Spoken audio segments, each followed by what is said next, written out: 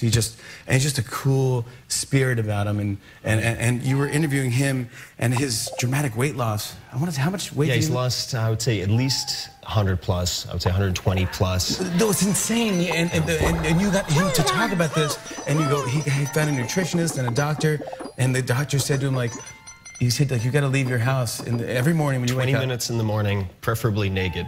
Yeah. and so he said, I don't wake up. Your your HOA may have some issues with that, so No, check but with your I- neighbors. yeah, exactly. Yeah, yeah. Your neighbors might be bummed. Yeah, exactly. But he, but he started doing it, Yeah. and then he just uh, just started feeling better about himself and eating better. One small change at a time, completely transformed. And we did the interview in his barrel sauna.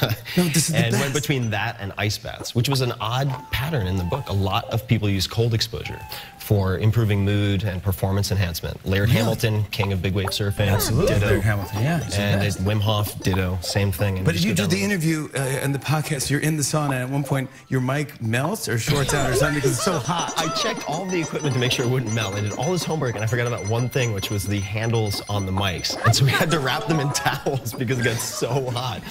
And Rick was like, well, this, that's why they call this the truth barrel. Yeah, the, the Truth Barrel. Yeah, but I mean, you have uh, you have uh, Tony Robbins. You uh, interview uh, uh, Seth Rogen. Uh, it's, it's it's funny people. Uh, it's entertainers as well as like just. Uh, Navy SEAls, generals, It's- chess prodigies, you and you don't read it. You don't have to read it in order. No, it's like a choose your own adventure book. And so you can dip in and dip out. And the goal is to sit with a cup of coffee or tea or whatever, and you can find a tactic, morning routine, whatever it might be that you can actually test yourself and see immediate